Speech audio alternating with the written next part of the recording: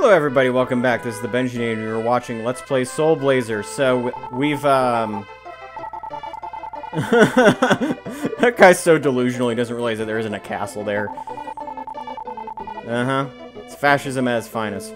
So we went to the left tower of Magridd Castle. We released the Queen, a super spy that says he knows all about the secrets of Magridd Castle, and most importantly, Dr. Leo. So, uh, there's looks like there's going to be some drama impending. Because even though we released Dr. Leo, he's still somewhere out of our reach. So we're going to try to, to find him. So let's talk first of all to the Queen and see what she has to say to us. Oh, yeah. so, um... So what what actually that was is a, uh, this is the, what was known as the VIP card. So this allows us to go anywhere in Magridd Castle that we wish. Uh, but we're not quite done. There's still, um, a few, few things we gotta do. Now if we talk to this soldier right here. Oh, you're a spirit from the sky. So this is the soldier that can, um, basically reveal to you the secret passages in the basement of the Great Castle. We're not going to do that, yeah, Soul of Reality. So we got all the souls, guys. We got all the souls. So, uh-huh. Oh, you guys were up to some dirty. Well, well, well. So anyway, uh, we're gonna explore those basements later. It's not super important that we do it at the moment. So, music is really strange. Ah. So, yeah, we're, we're slowly getting this kingdom back together, but like I said before, I really hope that if, uh, if this kingdom gets restored, that they get off their fascistic track. And can we really trust the queen? Seems a little suspicious. So now, we get to use the, we use the VIP card to get into the right place. And we're going to be... Yeah, look at that. See, we got that spatial distortion. Now we're going to be able to see all the hidden passageways. So, that's some really good stuff. Woo! More of these guys. We're going to bowl them over. We're going to restore the rest of this kingdom is what we're going to be doing. Another soldier. Again, we're going to be talking to all these folks. I don't... Actually, you do have to go back once, I believe, to um, this place, but... Look at that. Oh, look, all those pawn knights. All those pawn knights. I, I like the uh, the color scheme here, the uh, the purple floor. It's a nice touch. I suspect the queen was instrumental in designing the right tower. So, oh yeah, look at that. More houses and more decorative pathways and pillars, and it's starting to look nice again. Starting to regain its former glory, so to speak. Oh, look, see, there's a there's a there's a uh, there's a stairway that we weren't able to see before. So isn't that cool? All right, more of these guys. We've got four more monster lairs, so it looks like this is going to be one of those one monster lair spawns another type deal. Yep, that's what I thought. Boomerang men, boomerang. Yeah, these are probably the most versatile enemies in the game, um, just because they they move about in such a way, and they can attack you in such a way where it's it's hard to really dodge it. It's really hard to dodge these guys. Like, they're going to be... I mean, you can, of course, like, keep your distance and just shoot them with the arrow and so forth, but that's a lot of energy that they've got. That's a lot of health. So, you know, it's, it's one of those things where you're just better off just going right in there, taking them down, not worrying too much about uh, how much damage you're going to take. Of course, the damage does add up over time, as you can see. Did I show you off, uh... I didn't show off that magic spell, okay. Yay, what did we get next? What are we releasing? Ah, soldier. Now we've... Now we've, uh, apparently restored the infrastructure of this, um... Of Magridd Castle. I think that that was the last soldier you needed to release to get all the, uh, the buildings back. So... Oh, look at that. Oh, look! Mimic boxes. Those things, though, they give you a thousand EXP if you get them, so really is a good idea to uh, hack and slash those get those dudes if you can. Woo! Alright. We're taking so much damage. It's crazy.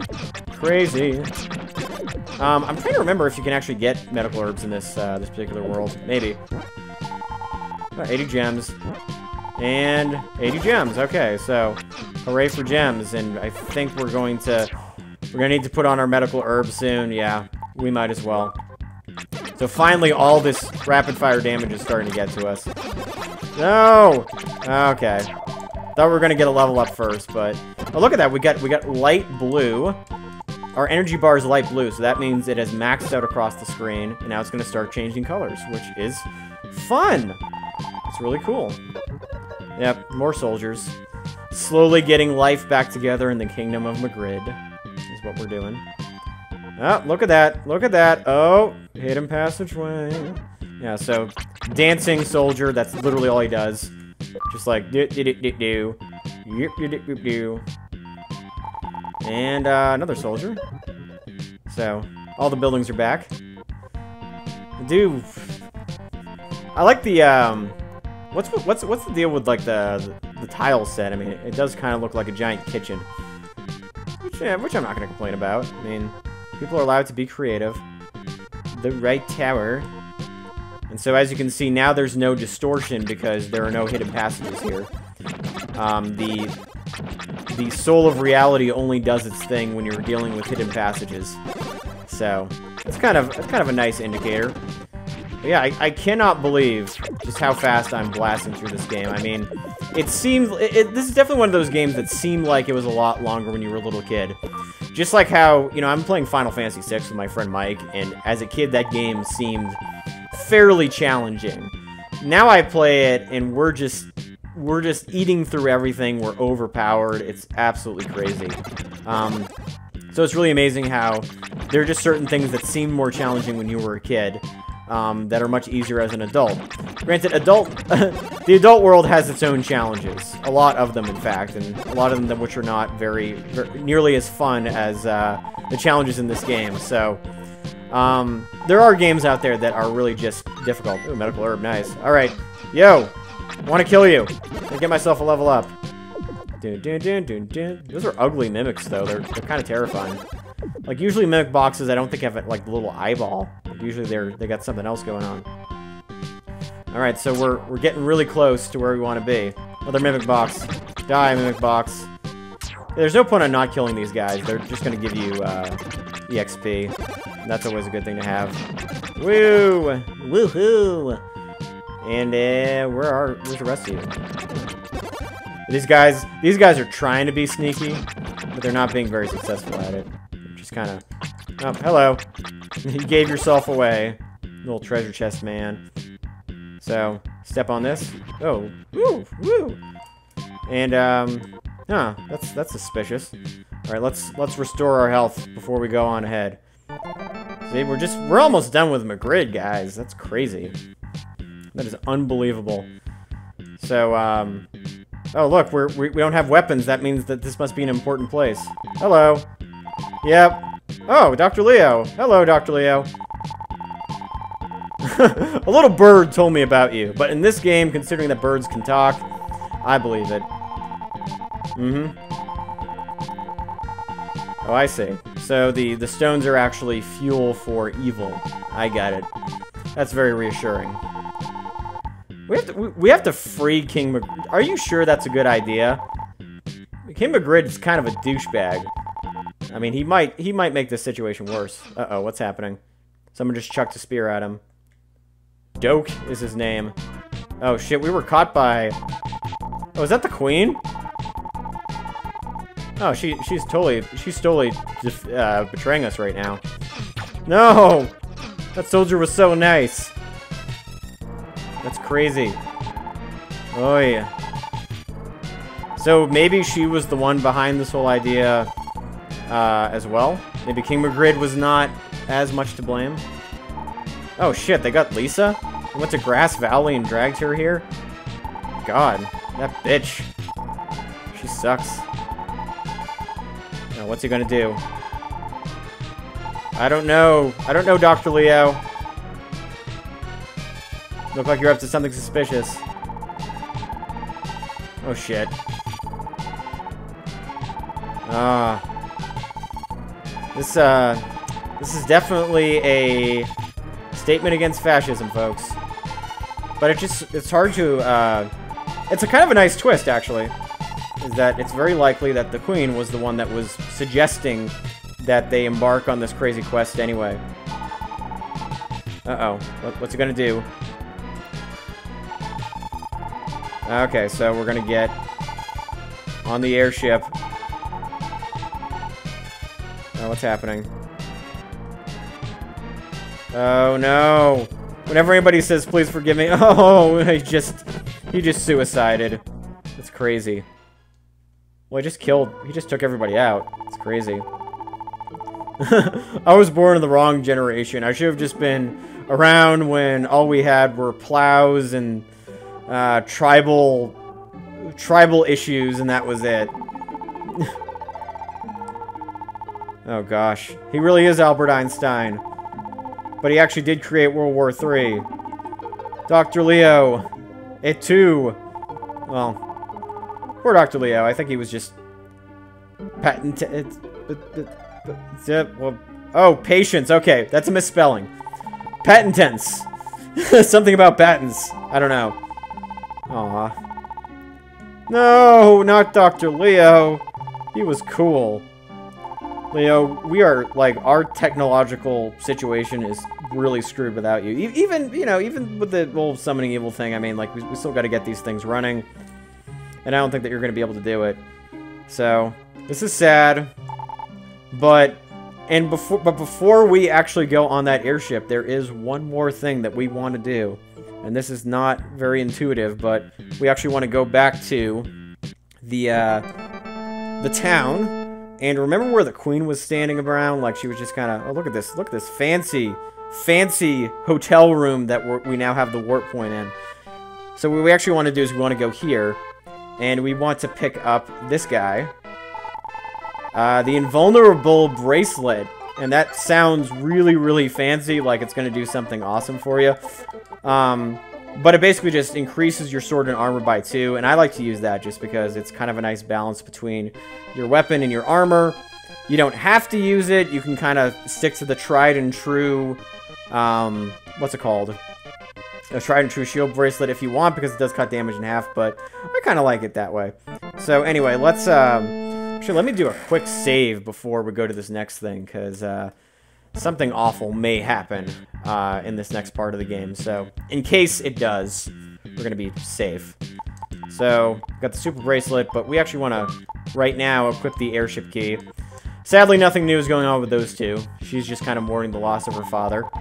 And now, we're to get the airship going. Hooray! Airship! So, uh, some magical fun's gonna happen now. And by magical fun, I mean another boss fight. So let's put on the this bracelet. And this guy is actually kind of tricky. It's a giant falcon. And he's gonna try to, like, he's gonna shoot these things at you. And it's kind of a pain in the ass. So you have to kind of use a strategy that's very similar to what we use for fighting the first boss, is just thrusting. Um, I think that if you go down further enough, he's going to start swooping in. Yeah, so that's a lot of energy that it's got. So we're to be, we're to have our work cut out for us. Whatever that thing is. Oy vey. Oy vey! Um, okay, so... Uh, I think the best way to do it is to just get... is to just have him swoop down at you. And yeah, okay, so I remember. You want to walk far enough down, so that way he can... Um, because otherwise, you don't want him to shoot fire at you, because then he stays in one place, but... Yeah, so that's, this is kind of what you want to do. And uh, you want to try to knock off as much HP as possible. And I think that once we get to a certain point, then we are going to... Um, oh god, I hope, I hope I can survive this battle. I'm a little bit, I'm a little bit skeptical.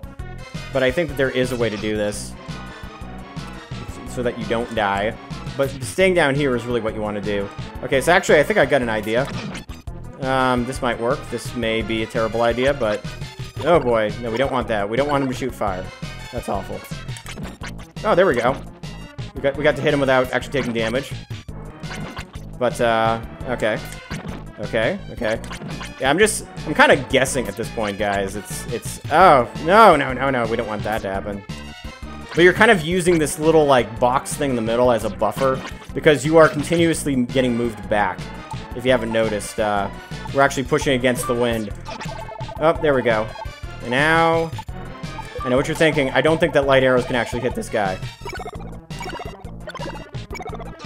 Okay. Move, move, move. Okay. I didn't know you could actually swing at him when he was going up that way. That's that's that's helpful. So I think we should be able to get this guy, actually. We should be actually able to... We should be okay. Now, you, I used to use the thrust technique, but the thing about thrusting is that thrusting doesn't do nearly as much damage as swinging. So, that, I know that sounds really dirty, but it's true. Swinging does more damage. Okay. We should be able to just one more one more swing at this guy. There we go. Easy enough. That's another one of those things that used to be way harder uh, back in the day, but is now not so much. So where's that monster lair? Cool, let's go step on it. And, uh, so we have released the douche master himself, King Magridd. Ah. Hmm. So, is he implying that this was his wife's plan in the first place? Or is he just saying... Or is he just that delusional? Is he Donald Trump? Is he basically just like, I, I can't believe it happened. I thought I was doing such a tremendous job being king, and there's this guy that told me about evil. And, you know, Death Toll seemed like such a nice guy, a very, very good guy, but, uh, you know, what can I say? He had such a tremendous deal, and oh, no, he would never, Donald Trump would never admit having a mistake. Oh, hello. It's like, thanks for watching his body slowly go out of existence. Yep. Ah. Oh, is this is this is this her way of saying I really have the hots for you, Angel Man? No, we're not a real human being. Yeah. We're kind of celestial. I forget what she says if you say yes. I don't think it's anything super important. Ah. Are you in love with me? I mean, we I am kind of badass and kind of handsome, so it makes sense. I, I don't blame you, Lisa, for, you know, wanting wanting a little piece of the Angel Man, but uh, I'm not sure if I even have the equipment for that. So anyway, cool. We uh, released King Magridd. Dr. Leo's dead, unfortunately, but it looks like we made it through all six worlds, and we're going to be heading to the world of evil pretty soon. So what's going to happen next? Find out in the next episode of Let's Play Soul Blazer. This is the Benjinator, and thank you guys for watching.